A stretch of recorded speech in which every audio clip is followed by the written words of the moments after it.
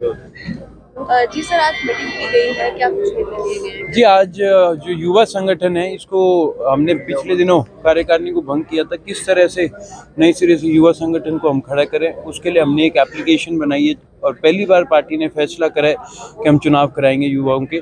तो उसी के रिगार्डिंग कि क्या प्रोसेस रहेगा चुनाव का, क्या प्रक्रिया होगी, उसके, उससे सभी साथियों को अवगत कराने के लिए आज मीटिंग की गई थी।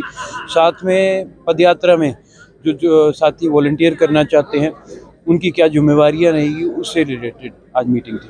पग यात्रा को लेकर डिप्टी सीएम अक्सर ही चुटकी लेते हुए दिखाई दिए हैं। क्या कहना चाहते हैं?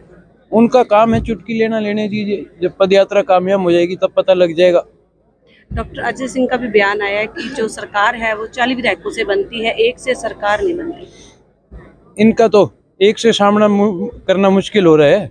हम 45 पहुँच गए तो फिर क्या होगा इनका?